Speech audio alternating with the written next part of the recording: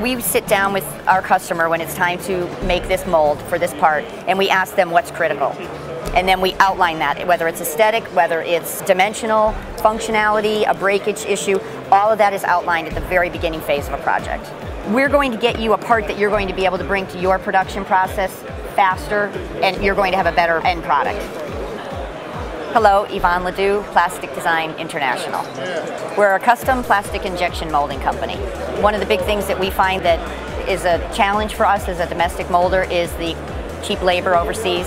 So by going to lights out molding where we actually take and everything runs automated, um, we've been able to reduce our costs and be very competitive. We do additional things like an APQP at the beginning of a project.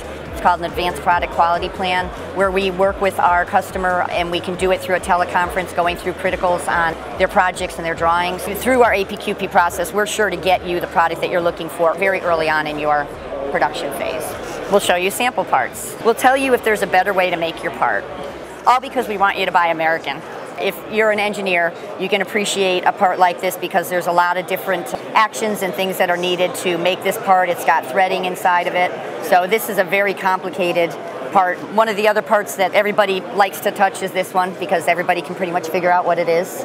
It's for one of the major uh, gun manufacturers in Connecticut. This is an actuator that goes into a submarine so we do the full assembly, we procure all of the components for it, we do a full assembly, and then we actually fully test it. So we do some assembly, some insert molding, where we've got parts where we're, we're getting terminals and then we're insert molding them into into parts. This is a, a newer product that we're making. We're making some parts and then in, you know these get assembled together.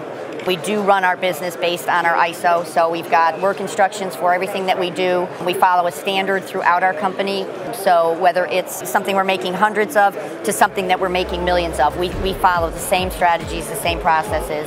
We'd love for you to give Plastic Design a call and let us be your next custom plastic injection molding company. See us and other quality suppliers at d2p.com.